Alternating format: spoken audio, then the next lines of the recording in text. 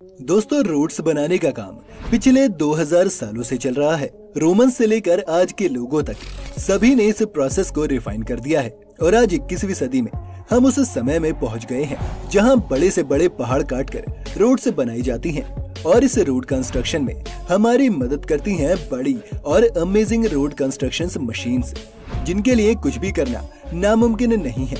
और आज की इस वीडियो में हम ऐसे ही कुछ मशीन पर नज़र डालने वाले हैं। तो बने रहिएगा। वीडियो के अंत तक हमारे साथ। वीडियो शुरू होने से पहले, चैनल को सब्सक्राइब करना और बेल आइकन दबाना मत भूलिएगा।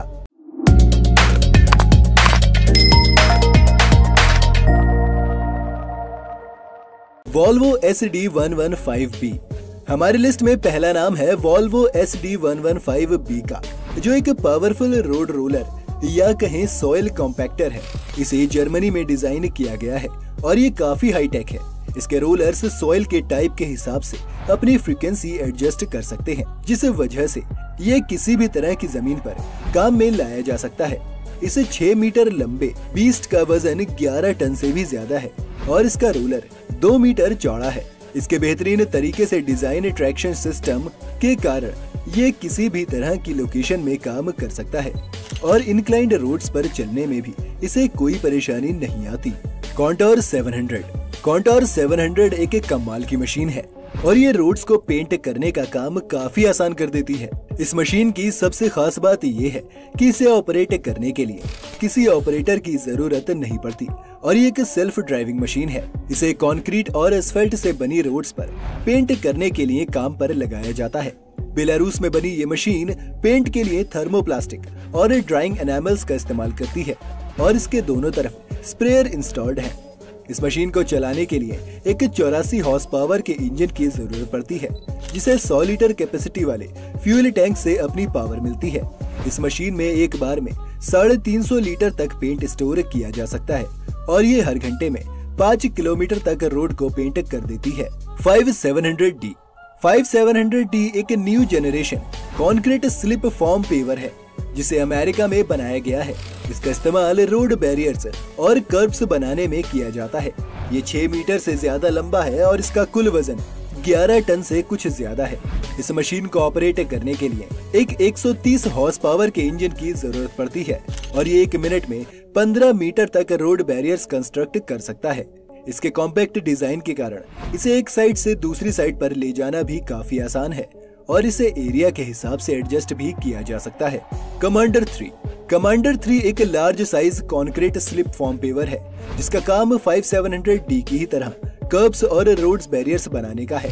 इसे अपनी पावर 114 हॉर्स पावर के पावरफुल इंजन से मिलती है और एक मिनट में ये करीब 30 फीट तक कंस्ट्रक्ट कर सकता है। इस 13 टन की मशीन के बारे में खास बात ये है कि अपने बड़े साइज़ और हाइड्रोलिक सिस्टम के कारण ये रोड के बीच में छह फीट लंबे बैरियर्स भी खड़ा कर सकता है। इसके हाई स्पीड परफॉर्मेंस के कारण कंस्ट्रक्शन टाइम काफ़ी कम हो जाता है और ट्रैफ़िक पर भी ज़्यादा असर नहीं पड़ता। जीपी फोर जीपी फोर के साथ अब हम बड़ी मशीन की लीग में एंटर कर चुके हैं। ये मशीन कॉन्क्रीट को रोड पर बराबर तरीके से स्प्रेड करने में काम आती है और इसे हाई क्वालिटी रोड्स और एयरपोर्ट्स पर रनवे बनाने के लिए काम में लाया जाता है। इस मशीन के सिंपल कंट्रोल पैनल के कारण इसे काफ़ी आसानी से ऑपरेट किया जा सकता है। साथ ही इसके अंदर इंटेलिजेंट डायग्नोस्टिक और पोजिशनिंग सिस्टम इंस्टॉल्ड है, जिनकी मदद से ये हर मिनट में 12 मीटर चौड़ी और 6 मीटर लंबी रोड्स को बना सकता है। साथ ही बनाई जा रही रोड के साइज़ के हिसाब से आप इसे 40 टन की मशीन के साइज़ को भी एडजस्ट कर सकते हैं और जितना चाहे, उतना स्ट्रेच कर सकते हैं। Volvo P six eight seven zero D A B G Sweden में बना P six eight seven zero D A B G एक छोटा कॉम्पैक्ट पेवर है, जिसे बहुत आसानी से सिचुएशन के हिसाब से मैन्यूवर किया जा सकता है। इसे हाईवेज और शहर की सड़कें बनाने के लिए खास तौर पर डिज़ाइन किया गया है। और ये एक बार में 9 मीटर चौड़ी सड़क तक बना सकता है। हर घंटे ये मशीन 700 टन बिल्डिंग मटेरियल को यूज़ कर लेती है। और इसमें इसकी मदद करता है इसका 175 हॉर्स पावर वाला धमाकेदार डीजल इंजन इस मशीन का कुल वज़न 14 टन से भी ज़्यादा है। और ये एक बार में 20 किलोमीटर पर आवर की स्पीड तक चल सकता है।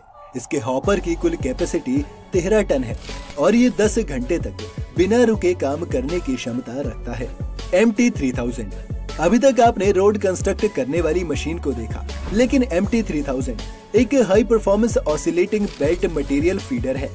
आसान शब्दों में कहें तो इस मशीन का काम एक रोड पेवर मशीन को लगातार कंक्रीट सप्लाई करने का है।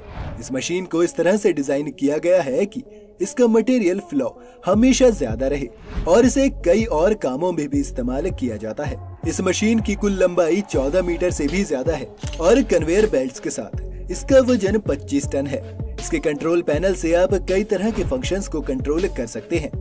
साथ ही इसमें एक लेजर मेज़रमेंट सिस्टम भी इंस्टॉल्ड है।